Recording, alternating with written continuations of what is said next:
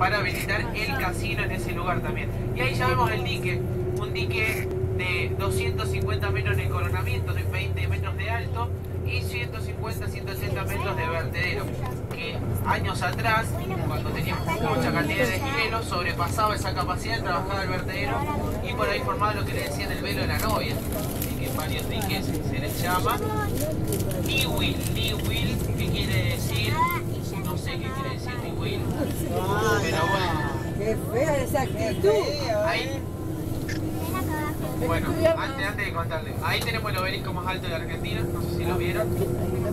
¿Cómo no sea mentiroso? Estamos a 1250 metros, más alto que el de Buenos Aires. Ah, ¿viste? Y Nihuel hay tres versiones sobre el nombre.